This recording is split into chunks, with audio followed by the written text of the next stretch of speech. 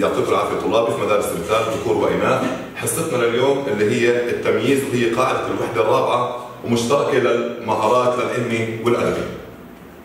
التمييز بداية. نبدأ كيف بدنا نستخرجه من الجملة أو من النص. التمييز هو اسم منون بالفتح عليه تنوين فتح. وهي القاعدة اجباريه لازم يكون عليه تنوين فتح. هسا عشان نتأكد إنه الكلمة هاي هي التمييز نسأل عنها بماذا نضع قبلها السؤال ماذا التمييز ياتي مفردا مستحيل يكون جمع. يجب إنه يكون اسم مفرد. يزيل الغموض. إحنا ليش بنستخدمه يزيل الغموض عما قبله عن الاسم الذي قبله أو عن الجملة اللي قبله كامله مثال زيد أكثر منك مالا. إذا بتلاحظوا بهذه الجملة فيش الا اسم واحد منون بالفتح. بنتاكد وبنسأل زيد أكثر منك ماذا؟ الجواب راح يكون مالا إذا مالا هي التمييز.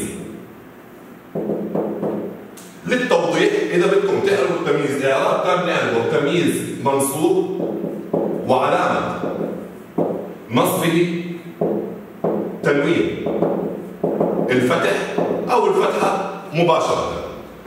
مثال ثاني اشتريت لترا زيتا اشتريت ماذا؟ لترا لترا ماذا؟ زيتا. لاحظوا إنه اجى عندي كلمتين ورا بعض عليهم تنوين الفتح. الثنتين منونات بالفتح. الآن في طلاب بإمكانهم يعرفوا الكلمة الأولى حسب موقعها.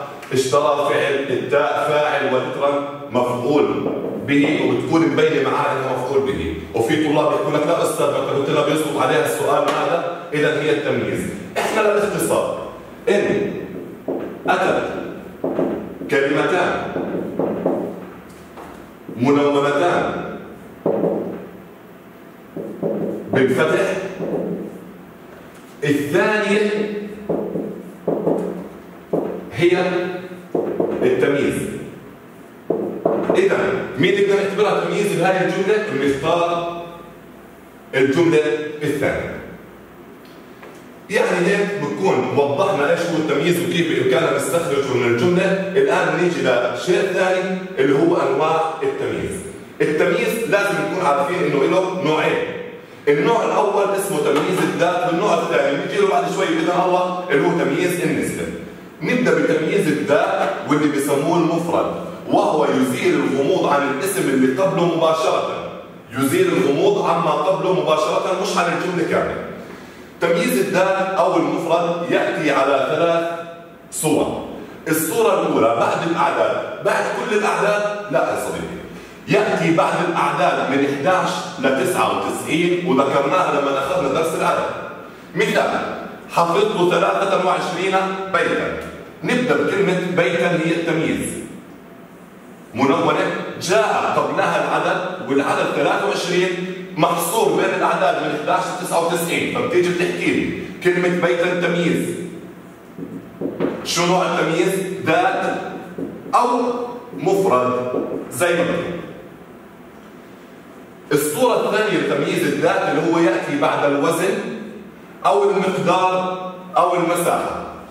مثال زرعت الأرض ظلما شعيرا اتفقنا إنه في عندي كلمتين منونتين بالفتح أخذنا الثانية هي التمييز